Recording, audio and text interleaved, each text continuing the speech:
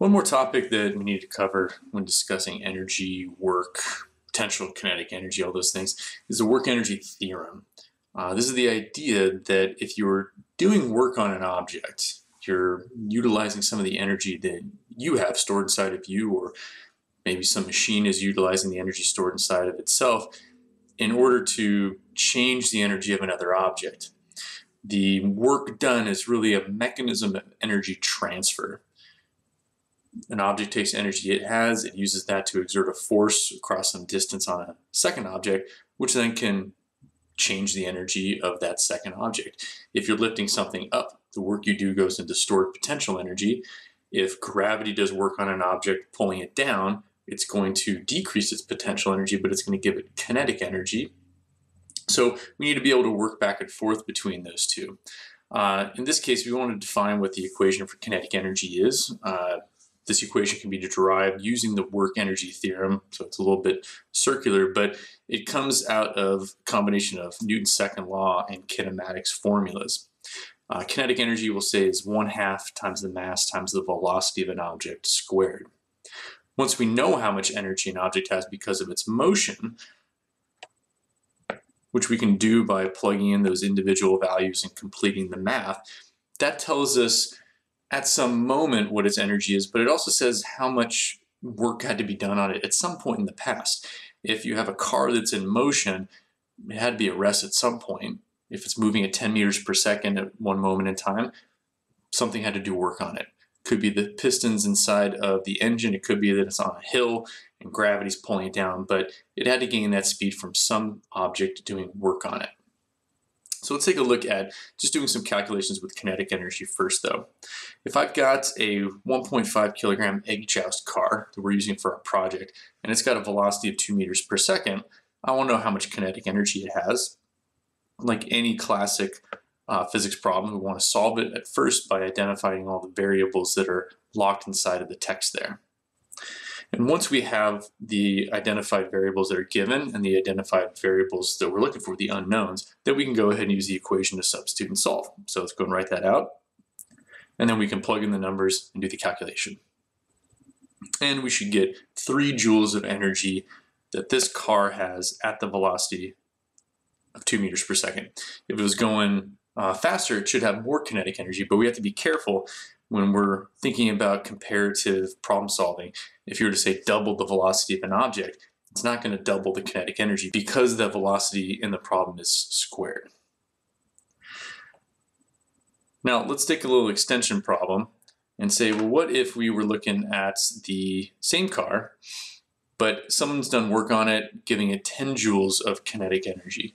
It's a lot more energy, it's over three times the energy. What velocity would it need to have? Again, we got to be careful not to think that because we've tripled or doubled some output that an input had to be doubled or tripled. We need to be careful and make sure we do calculations. Although we can be pretty confident saying that if the kinetic energy of the object has increased, then the velocity should have increased as well. So we should end up having more than 2 meters per second of velocity. Let's go ahead and set up the variables and then set up the equation. And then we can plug in some numbers and see how we're going to solve it. Now in this case we can see that the velocity is the object, I'm sorry, is the quantity that we don't know. So we're going to have to apply basic algebra tools in order to solve it. Uh, we can combine together the 0.5 or 1.5 and the 1 half and get 0.75. We can divide that from both sides and eventually square root. That'll leave us with v should be equal to the square root of 10 over 0.75. And if we calculate that, we're not going to get four or six or 10 or something like that for the velocity. We're going to get kind of a weird number, which is why sometimes we have to use our calculators of 3.65 meters per second. So is it going faster than two meters per second? Yeah, definitely. But it's not going three times faster. Again, the change in velocity will end up being squared, which has a much greater impact on the end result than just simply doubling it or tripling it. Okay, let's take a look now at that whole work energy theorem that I mentioned before. In that example two that we have up above there, uh, all the work that's done on the object is going to accelerating the object. It's going to changing its velocity. We could technically take an object and throw it up into the air we could give it velocity and we could give it height, which would change its potential and kinetic at the same time. But let's just focus on one. Um, any sort of work that we do lifting an object would change potential energy. So we could say work done equals change of potential energy if lifted up straight up in the air. But if something's just accelerating, we can say that the work goes into changing kinetic energy. We can say that work equals delta KE. And the kinetic energy change, I mean, sort of delta would be a difference the final minus the initial, the new minus the old. And so we would say that kinetic energy final minus kinetic energy initial should be equivalent to the work done. We started with some energy, we started with some ability to do work. Then someone came along and changed our kinetic energy by doing work on us. That mechanism of energy transfer, work done, the physical pushing and pulling, or I guess if it's gravity, we can say it's a force at a distance, but the me mechanism of energy transfer, the work being done is going to alter how much kinetic energy the object has. This is called the work energy theorem for kinetic energy.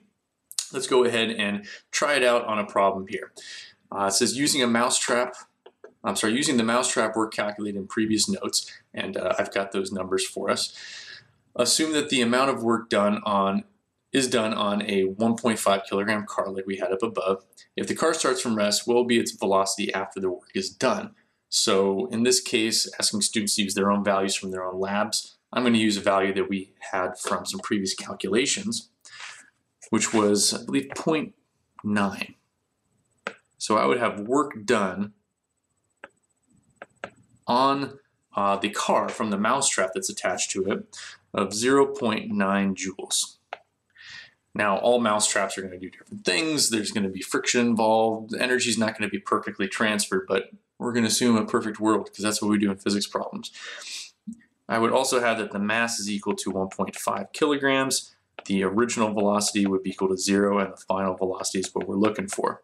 So if we apply this work energy theorem, we say that work is equal to the change in kinetic energy. I can go ahead and do kind of a double substitution here. I can replace work with whatever its calculation is, and I can put in the formulas for kinetic energy down below. So let's do that. Now, since I didn't have to calculate work in this case, I already had the value for it. I don't need to write in force multiplied by distance, but I could. I could do that substitution. Uh, in this problem, the initial velocity is zero, so that means this whole term is just going to disappear. There's no kinetic energy in the beginning. Car was at rest, it's unable to do work. And I've got the other values, so I can go and plug those in. And once I get those values plugged in, it's the same thing as the previous example problem. We can solve for the final velocity uh, 1 half times 1.5 is 0.75. We can divide both sides by it and then eventually square root. We should have the velocity equal to whatever 0.9 over 0.75 is square rooted. So let's calculate that. And on my calculator off screen, I get 1.095 or about 1.1 meters per second.